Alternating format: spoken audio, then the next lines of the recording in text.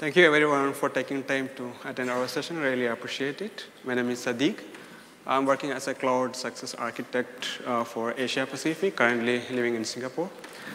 So today uh, we are going to talk about the basic architecture of uh, our cloud containerized deployment with a focus on troubleshooting. Before we start, just two things. We, are, uh, we prepared our presentation using OpenStack Queens.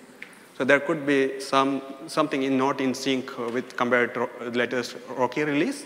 So we apologize for that. Then we wanted to, the next thing we wanted to focus on advanced troubleshooting, but uh, without focusing on the basic troubleshooting and basic architecture, there is no point in going to advanced troubleshooting. And we don't have enough time to cover everything, uh, basic troubleshooting and advanced troubleshooting. So we will focus our presentation on basic architecture of the deployment process and the basic architecture of the, our cloud. Then uh, we, know, we should explain how to troubleshoot if you come across some issues. And over to you, Dev. Thanks, Sadique. Welcome everyone to the OpenStack Summit. My name is Devendra Shanbag. I work as a senior consultant with Red Hat.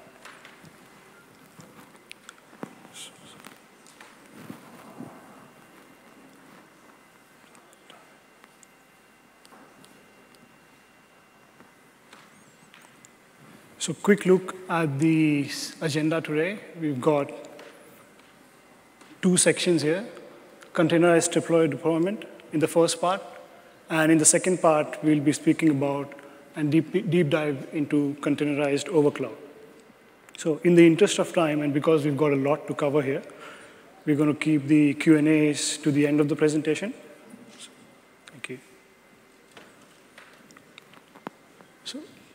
Quick note about TripleO. So with TripleO, we have two clouds, the undercloud, which is the operator-facing cloud, and the overcloud, which is the tenant-facing cloud. In a typical deployment, we use the undercloud and deploy the undercloud first, which is used to deploy and manage the overcloud. Now, let's look at a traditional deployment. Um, in a traditional deployment, you have pre-built images and all the packages installed and base configuration done.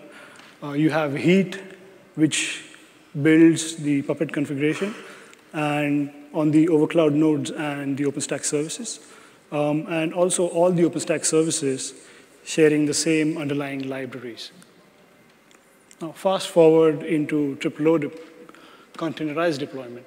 Now, in a containerized deployment, we have all the systemd managed services containerized.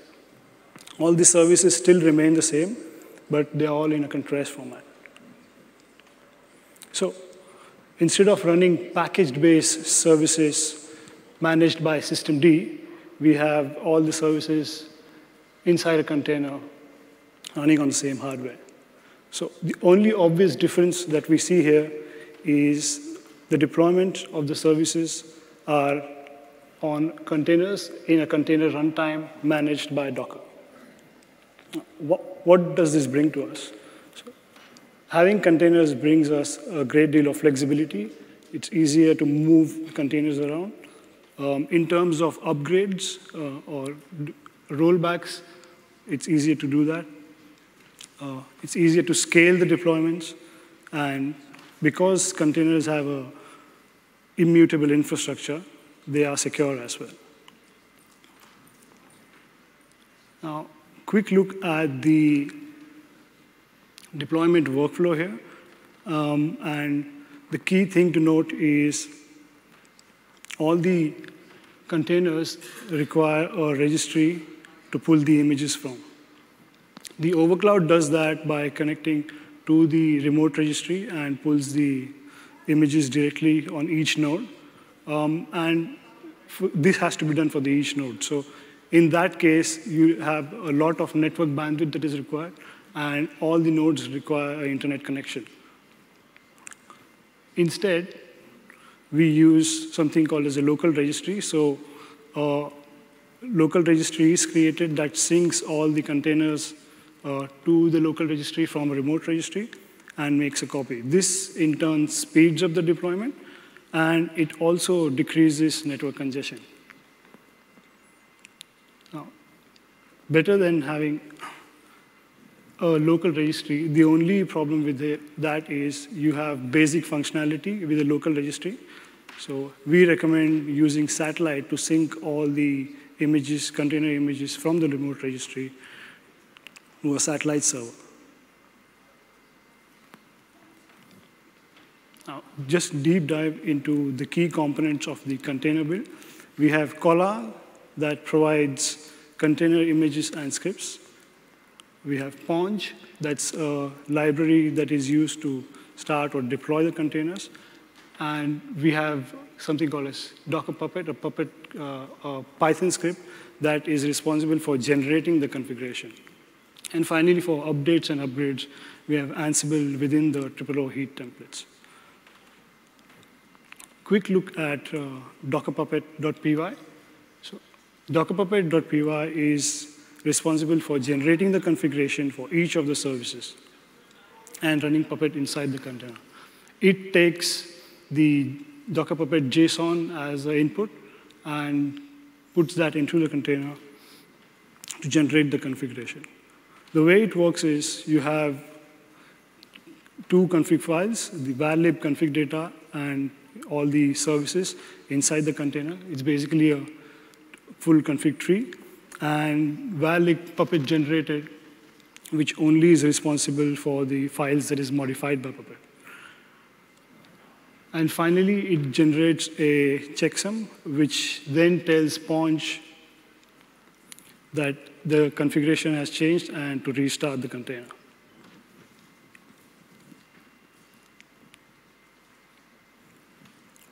So once Docker Puppet generates the configuration, how do we have the containers started? So Kolla is a, uh, project, Kolla is a project that builds the container images and has all the containerized services and startup scripts. So like I said before, uh, we have all the configuration that's put inside the container and the config di directory also put in the container. And Kolla start um, copies the configuration on each of the containers, sets permissions, um, and then starts the container process.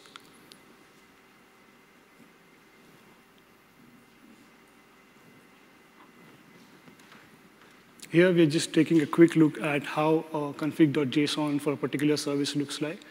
We see uh, the permissions being set on the container, on the, on the files, the command that it's supposed to run, which is start the service, and the source, which is the Kolla config source files. Some important directories that I've, we've listed here. Um, so we have varlib config data and the service names, which have the full copy of the tree, uh, of the container tree, which is basically etc and all the services inside it. We have varlib config data puppet generated, which has configuration files only that is modified by Puppet. Um, and then we have varlib triple config and Docker Puppet, which is managed by Docker.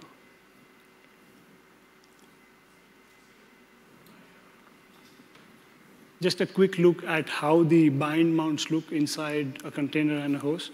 So what you see on, on the underlying host is var lock containers keystone is bind mounted inside the container as var lock keystone.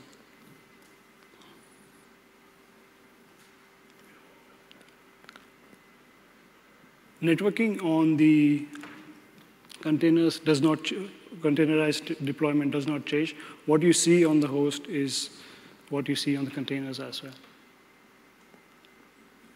Even log files for all the containers deployment are bind mounted. So in the container, you'll find the logs in their usual location, which is etc, oh, sorry, var log and the service name Neutron Nova. And on the bare metal host, you'll see it under var log container and the services. Finally, let's take a quick look at uh, a stack update, which I'm trying to do uh, to deploy OVN on the overcloud. Um, So basically, my stack update has failed complaining about a Docker image not being found. First thing you'd probably look at is the config file that uh, you've uh, generated using the OpenStack Overcloud container prepare and all the containers in your local registry, which clearly states that the OVN containers are missing. So next up, we, we include that in the container prepare command and rerun it. So here we have a diff of what was it, what was the uh, container registry before and the one with the local registry, with the OVN containers present. This brings us to the end of the first part of the presentation. Just over to Sadique. Thank you, Dev. So Dev clearly explained how TripleO deploys a containerized over cloud. So he first gave you insight into how Kolla can be used to build the images, then how you can configure various uh, sources for, to, to push the images, so that the overcloud can use those images and pull those images during the deployment. He then shed some light on how, what is the purpose of the Paunch and how Paunch is being used to kickstart various uh, containers during the deployment process, both one-shot containers and other containers and, uh, during the deployment process. Then uh, he explained how the bind mode works in the background. Then uh, he also focused a little bit on how Kollastart is, is being used uh, to orchestrate the OpenStack services within the containers. And uh, then he gave an example on how to approach a basic troubleshooting uh, that can happen, uh, deployment failure brings into the picture. So now let's shift our focus a little bit into explain how does in our cloud deployment, an end result of the deployment looks like from a containerized architecture perspective. So um, uh, the first thing that I'm going to talk about is the high availability of the containers. So we need, for a lot of various OpenStack supporting services, we need high availability. So um, we have been using Pacemaker to deliver the high availability for various supporting services. And the good news is that we still use Pacemaker. And traditionally, we use Pacemaker to make the service highly available. So for example, uh, MySQL Galera, uh, RabbitMQ, uh, Redis are some of the examples. So we cannot just manage the containers the way we manage, uh, Pacemaker manage the, the services directly. So that is why Pacemaker introduced a new feature called uh, bundles. So what does this mean is you are going to pass a lot of values uh, in, uh, options into the pacemaker startup command. So one being the location of the image, the second being uh, what type of networking is going to be used for these containers. Then third, uh, the number of replicas. Then whether how many masters or how many slaves, something like that. Then finally, what is going to be the command that is going to orchestrate or being started. In most of the cases, this is Kollastart. So uh, Pacemaker will take all these arguments, and depending upon how many replicas that you have configured, this is going to create a bundle of containers distributed into multiple bare metal control plane nodes. So uh, this is what uh, we have. So we have various services as I explained. So one is Galera MariaDB, then RabbitMQ, and Redis. These three services, uh, Pacemaker cannot just manage the containers. So Pacemaker need a little bit of intelligence and uh, exposure into the application inside the container so that it can do various activities like bootstrapping and, and other steps directly on the application. So uh, we need a way to, to do that, and that is why the pacemaker going to start pacemaker remotely inside the containers, and then pacemaker remotely is basically going to orchestrate the, the application, bootstrapping the application inside the, the containers. This is not for all the containers. This is like explained only for the three containers that need special intelligence to bootstrap the application. So um, uh, I have a next slide, another slide that I explain this process, uh, step-by-step -step process involved in this. So these are the one type of containers that Pacemaker makes highly available. Uh, the second type of containers are HA proxy and uh, Cinder, uh, Cinder volumes I will explain later. So HA proxy, it, this pacemaker does not need any kind of intelligence or access into the HA proxy that is running inside a container. What it does need is it just need to start, stop, uh, and make the container itself highly available. So we will say pacemaker, uh, you directly go and manage the bundle of containers created for HA proxy. And Cinder volumes, obviously, it is still running as active passive in a default deployment. So we need to configure Cinder volumes as uh, with just one replica so that the, the, pacemaker will ensure that only one container of, of Cinder volume is running at a time. So uh, the other thing is that pacemaker service itself is not containerized. Plus the virtual IPs that, that, using which we access APIs are also not containerized. They are also running as the, just like the standalone services uh, on, on the control plane. And uh, let's take just one example of how the, the uh, container bundles are built for MySQL Galera. So um, uh, we have the container, and we have the config.json this config.json and the config dir is something that is generated during the deployment as explained by Dev during the using the Docker Puppet. And these are available on the bare metal system, and these are bind mounted into the container, along with all other supporting files like warlog containers, there are a lot more. Uh, then uh, once uh, this configuration the container takes, and we specify that Kolla start is going to be the process that should orchestrate the application inside the, the container, each container. Then what, what you see here is the, the Kolla start is going to be the first process that is going to orchestrate the services inside the container. Then uh, what the Kolla start actually does is it reads the config.json that is already bind mounted and it first does uh, copy all the configuration files from the config dir that is bind mounted inside root directory of the, of the container. So the, the configuration files inside the uh,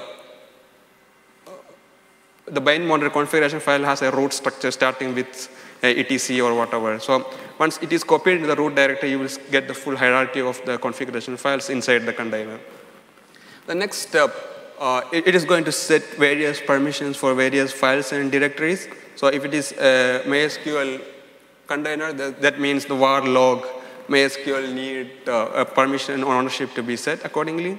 Then once this is set, then since this is a special bun container bundles, uh, we cannot just tell you start the process or Galera process, but it, the Kolla start does is, is in fact going to start the pacemaker remotely inside the container. Okay, from here, what happens, then pacemaker remotely is started, then the pacemaker on the bare metal node or the control plane node is going to talk to the pacemaker remotely inside the container and using the resource agents, so resource agent is Galera resource agent. It has a lot of configurations associated with how the, the Galera need to be started. It is going to send that configuration into the pacemaker remotely. And pacemaker remotely is going to basically orchestrate uh, the Galera application inside or service inside the each and every container.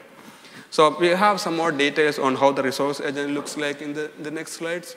So this is how a PCS status looks like uh, inside one of the control plane node. So we do have the first three bundles are the bundles created uh, for uh, MySQL, RabbitMQ, and uh, Redis and the VIPs are not containerized, and the last two are basically the container sets for HA proxy and Cinder volumes. So this is not the only containers managed by Pacemaker because if you use OVN, then the OVN database is there that is containerized. So we haven't uh, explored that in detail here.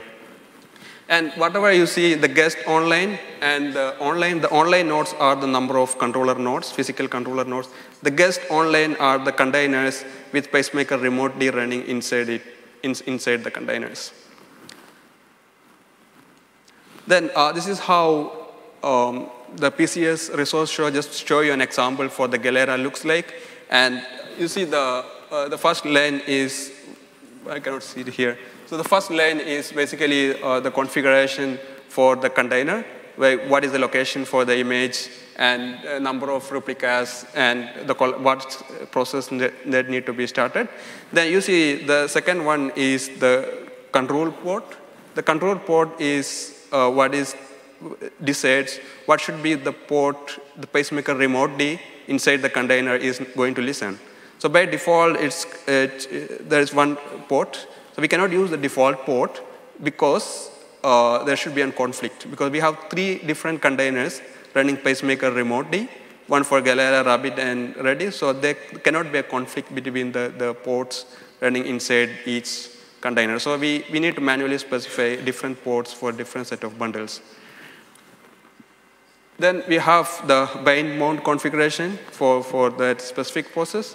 Then uh, the last section is the resource agent configuration, where, uh, the, where we are going to tell how to build the pacemaker uh, Galera cluster. What are the nodes, that container nodes that is going to be in the uh, cluster, and how to do various activity. I mean, how, to, how should, should the pacemaker remotely orchestrate the service inside it. So that's about the uh, containers managed by pacemaker remotely. If you see, uh, there aren't too many containers managed by pacemaker. Then we do have the standalone containers. So um, uh, the standalone containers are, most of the containers fall into this category. They are basically stateless, most of the API services. And uh, we use Docker to directly, tell Docker to directly manage these containers. So um, uh, the configuration is generated during the deployment, and we do have the Docker restart always set to yes, so that the Docker will start and stop these containers. So um, uh, there is no dependency between these containers, because if one container goes down, there is nothing to, to bring up except, except the default high availability in do Docker. So what happens is we have HA proxy that is being managed by pacemaker. HA proxy is going to load balance uh, API requests into these containers. So HA proxy is responsible to ensure that it is it's not send API request into the container that has gone down. So even if one container goes down, it doesn't matter. We do have rest of the two containers where HA proxy can send requests. Then uh, another set of uh, standalone containers are uh, managed or communicated, they communicate with each other using RabbitMQ. So there are basically, some of the examples are Nova scheduler, uh, Neutron agents, uh, Nova conductor, and there are a lot more. So the high availability for these, these are also standalone containers. And there is no API access into this. And this uses RabbitMQ and get registered with the RabbitMQ. And, and uh, uh, all of the containers for example, if we have three Nova scheduler, all the three Nova scheduler container will get re registered into RabbitMQ. Even if one of them goes down, the RabbitMQ still has two of the containers registered that can actually uh, serve the request or do the task. So um, that's why these containers are still standalone containers managed by, directly by uh, Docker itself. Now, uh, let's, uh, these are, what, what I explained till now are the containers that exist on the control plane. So now uh, each compute node is also containerized to some extent. So that most of the services within a compute plane, compute node is, uh, for example, uh, the libvirt, the Nova compute, and uh, agent. Um, uh, Nova migration target is another container where uh, SSHD runs listening to, into a port, and it actually to accept incoming cold migration requests from other hypervisors. So um, all of the supporting services are containerized, and just like uh, they are also standalone containers directly managed by Docker. And at this time, at the time of the Queens release, Open vSwitch that runs on the compute node is not containerized. It, is, it just runs as a standalone service. And all the VMs, by saying VMs, I mean the QMK VM process that manages the VMs are also not containers, just like a, uh, just a Linux process like in the previous releases. Now, uh, let's cover a little bit into Ceph uh, OSD node. So this Ceph OSD node uh, is deployed by director, and director uses Ceph Ansible to deploy it, and Ceph 3.0 has support for containerization. So uh, the containers in Ceph OSD nodes works a little bit uh, in a different way. So that means we, for each OSD, each OSD is a disk, for example, SDA, SDB, and SDC. And for each OSD, we are going to have a systemd process created, a systemd service created, and inside the systemd service, we are going to call OSD run.sh and the name of the, the device. And what it does is it calls the docker current command and, and it passes the uh, OSD details, the device, and everything to the Docker command, uh, current com Docker command. And the Docker is actually going to create a container for that, for that OSD.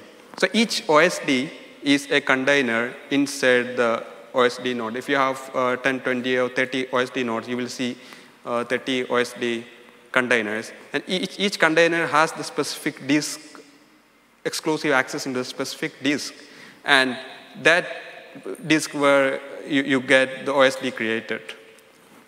So, uh, so the, the important thing is here is that you should not be managing these containers using Docker or PaceMaker or anything, but these are simple systemd services where you can manage each OSDs using systemd services. So if you think that the control plane services are the only one containerized, you are wrong. So we do have a lot of services that spawns containers. For example, uh, Neutron. So um, you know that Neutron traditionally responsible to automate your networking. So that involves uh, creating networks. So when you create networks, that means if you enable DHCP, the DHCP agent is going to spawn at the DHCP server, which in turn spawns a dnsmasq, DNS mask process to serve that container. So just like that, you have a Neutron layer 3 agent, and when it comes to Neutron layer 3 agent, layer 3 agent is responsible to create a namespace, plus um, uh, on each and every bare metal node, depends upon the configuration, then uh, start a keep alive process. And the keep alive process will manage uh, uh, hooking the IP address into the namespace and enable routing for the virtual routers created by end users. So this is one of my favorite topic because this can make the scale of containers in the control plane really unpredictable depending upon how many users are there, how many of them are going to, to start, and how many networks and routers. What happens is in, in, with containerization, each network DHCP server dnsmasq process is a container that is spread across multiple uh, uh control plane nodes. What does this mean? This mean is that we need high availability for the DHCP services. So we, for single network, depending upon the configuration, the default is three uh, DHCP servers. We are going to uh, basically uh, create three dnsmasq process on each of the control plane node. That means 100 networks, you are going to end up 300 containers just for the network DHCP services. And just like for the routing also, so you, if you, you have uh, keep alive but the keep alive will be hooking the IP address only on one container. And for each router, it is a container with the namespace and IP hooked into that namespace. And they are going to form a heartbeat network for the keep alive to work between the containers. Then uh, we do have the metadata services. So metadata services is uh, hooked into the uh, router if you have a router. If you do not have a router, it is hooked into the DHCP agent. The example here shows the metadata service uh, hooked into the router. So each uh, metadata service for each router is going to be another container. So that means uh, how, how this is done is we have Neutron DHCP agent, we have Neutron layer 3 agent. Layer 3 agent is a container. This container has Docker clients installed in it, and these Docker clients can contact the Docker service on the, on the control plane and can spawn different containers for each and every network and router being created by the end user. And the container that is being created by the, end, uh, by, by the so then also a different container gets created for the Neutron network namespace. And the Neutron uh, routers running in a container is going to contact or reach out to the uh, metadata agent container for the metadata access, which is another container. They share the same namespace. If, if, you, see, if you look at, I don't have an example here. So um, uh, the first one is a, is a container where a DHCP dnsmasq process runs. The second one is, a, sorry, the first one is a QRouter uh, layer 3 agent, I believe. And the second one is a metadata agent container. So inside the metadata agent container, it is going to run an HA proxy process. The HA proxy process will listen for the metadata port, and once it gets a request, it just sends it to a uh, metadata socket, proxy socket. Then the last one is a different container spawned for to enable DHCP services inside a uh, for, for, a network. And uh, I said uh, the the namespace for the uh, routing uh, and metadata proxy is shared. They, they all run the same namespace, so we are using the shared flag to, to bypass the names, uh, to pass the namespace into both the containers. So let's focus a little bit on troubleshooting. These are simple tips and tricks for you to troubleshoot. So um, uh, just like I explained, it's very, very important to understand how the containers are started, stopped, and managed for various purposes what are the containers that is being started and stopped or managed by pacemaker, what are the containers uh, managed by uh, Docker itself, and what are the containers that are managed by systemd, and what are the containers that is managed by a different container, like the, I explained in the Neutron use case. There is another use case in Cinder also, where each, if you use NFS backend for a Cinder, each mount request is going to be served in a different container. So, um, uh, so we need a clear distinction. You need to understand the clear distinction between all these types of containers to efficiently troubleshoot. There's no point in, in uh, playing with the Docker start and stop command to work when you work with a pacemaker managed container. It's, it's, it's going, not going to help you to troubleshoot anything. And the second, some of the Docker commands that you can always use, like Docker stats, Docker top, which will give you some of the monitoring information from within the container. And most important, they can use docker inspect command to see the, the configuration of the container. And if you look at the log files, and the log files, you should not be looking at the default log file location because every log file location is bind mounted into the container and they reside on var log containers and the name of the container is Nova, Neutron, or depending upon the, the service. And if you want to enable debugging for troubleshooting purposes, there are multiple ways to do that. And uh, one way is you directly log into the container and then change it on the fly. So um, uh, this will not survive a restart. But if you need to make changes permanently into the container, you can uh, actually edit the bind mounted file which is, uh, resides at the Puppet generator directory. That is one option. Uh, but for configuration that is going, configuration changes that is going to remain forever, uh, you are recommended to do it through TripleO orchestration. Then the finally, if you want, if you find some bugs and you want to rebuild the container with a fix for the bug, you have multiple ways to do that. So um, you can create a Docker file, then say, uh, I'm going to change this file. The changed file is there, you copy that into the container. Or I have a new RPM package, you install this new fixed patched RPM package inside the container image, then rebuild the container image, then you just run a TripleO stack update so that the container gets updated uh, with the new code. So, so, but for, for a permanent fix, it's better you download the patched uh, image or patched container image and re, uh, re, uh, do a stack update. So these are some of the troubleshooting steps for you, for you to get started with. And by this, thank you everyone for your time. If you have any questions, we're happy to answer.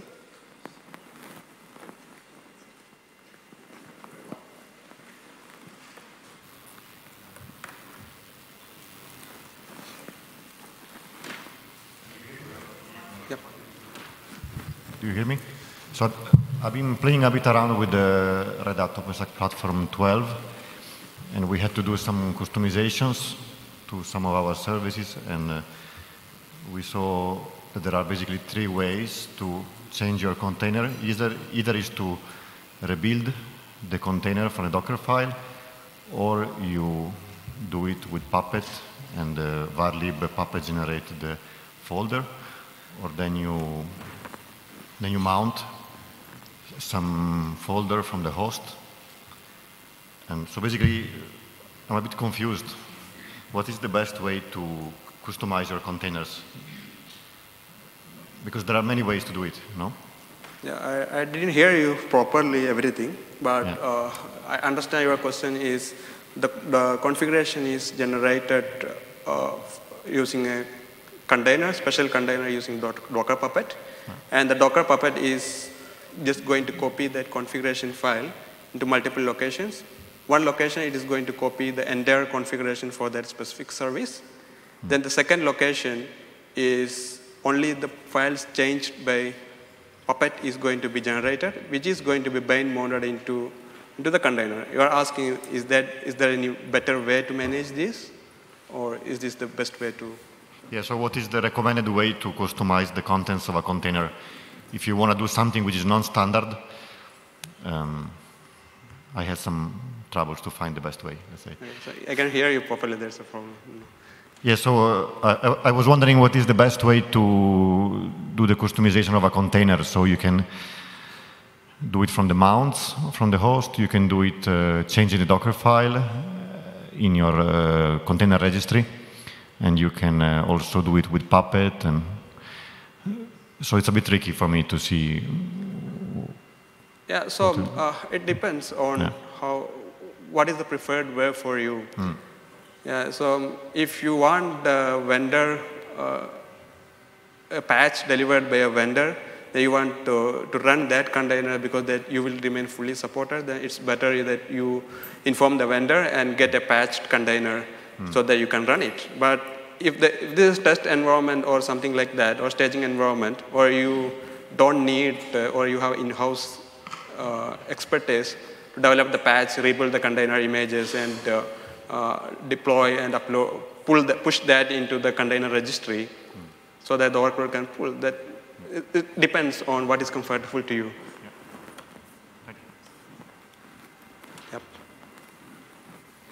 Um, hey, I'm just wondering what's the value of running Galera and uh, Rabbit through Pacemaker while they have their own clustering built in? Your question is the Galera and Rabbit is running inside uh, by pacemaker, and what is the purpose of uh, running it through the pacemaker, right? Uh, because uh, one thing, uh, this need uh, special orchestration inside the container. That means, uh, for, for example, uh, for, for Galera, uh, if all the three nodes are down, you need to decide which, you don't know basically which Galera node has the latest copy of the database. So if you just start the Galera service inside the container, then uh, you may lose, depend upon the which, Galera need a bootstrapping, so it depends upon which node you start first is going to be the master, which may not have the latest copy of the database, so you lose a lot of data in- during that process. So what Pacemaker is going to do is one, it has a resource agent. Once all the nodes are up, it is going to find out automatically, looking at the database, which node is, has the latest copy of the database, and use that node to bootstrap the Galera services. So that you will not lose any data. So that is the main purpose of one, to, to bring Galera under Pacemaker. It needs special intelligence to start to automate the bootstrap process.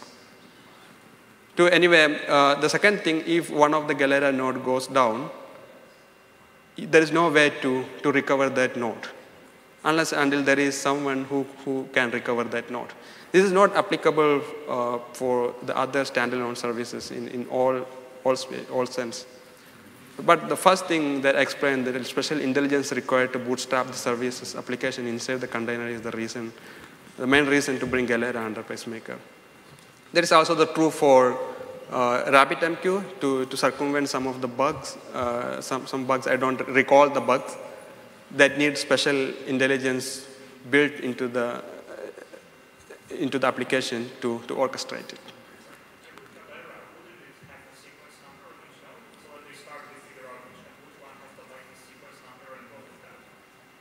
No, when, when Galera goes down entirely, uh, you need to bootstrap it.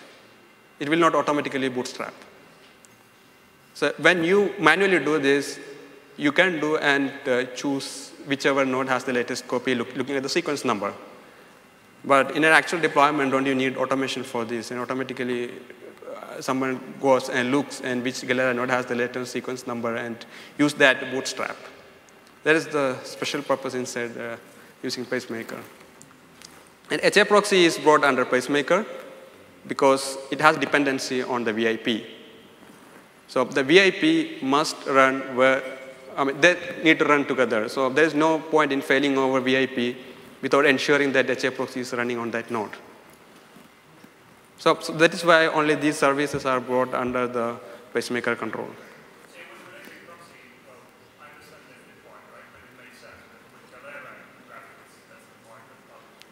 Yeah, let, us discuss in detail. So the idea is uh, to, to give some intelligence, get some intelligence, go directly into the application and do special orchestration. I think we are already out of time. There aren't any questions. Thank you everyone for Thank you. joining. I will be around. Let's talk.